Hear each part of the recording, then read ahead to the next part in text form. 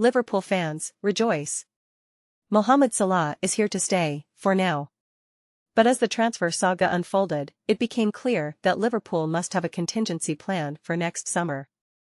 Jurgen Klopp and John W. Henry, Liverpool's manager and principal owner, made it clear that no amount of money would make them sell Salah.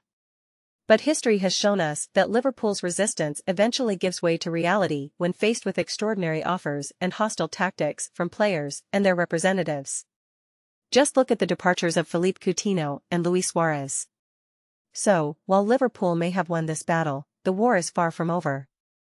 The Saudi pursuit of Salah is relentless, and they will surely come knocking again next summer when conditions are more favorable for Liverpool to sell. And let's not forget, Salah will be turning 32 with just a year left on his contract. A £150 million bid at that point will feel like a lottery win for Liverpool. That's why Liverpool must start planning for the future now. They need to identify a replacement for Salah on the right wing, perhaps someone who will be ready by the start of the 2025-26 season when Salah's contract runs out. And if circumstances dictate, they should be prepared to react sooner but losing Salah would also have immediate consequences. Liverpool's chances of returning to the Champions League would diminish, and the financial rewards that come with it would be at risk. Plus, finding a suitable replacement within 48 hours of a £150 million bid is nearly impossible.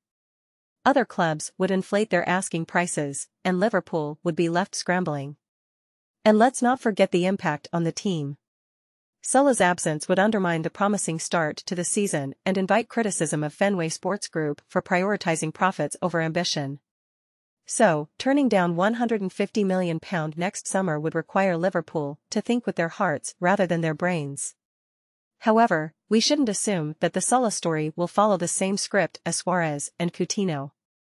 Salah has shown professionalism and respect for Liverpool's decision, unlike his predecessors who reacted with hostility. Salah is a team player, despite the occasional moans, and his determination to keep taking penalties.